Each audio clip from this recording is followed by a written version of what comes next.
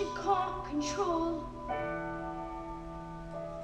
I suppose it's like forgetting, losing who you are, at the same time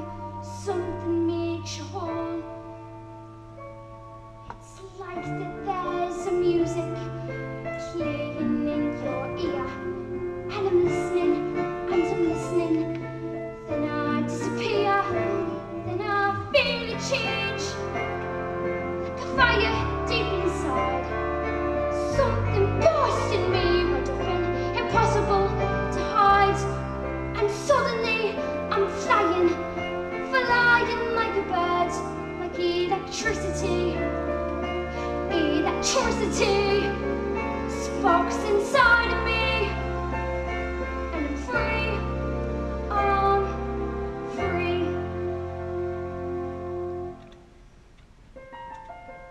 It's a bit like being angry, it's a bit like being scared, confused and all mixed up.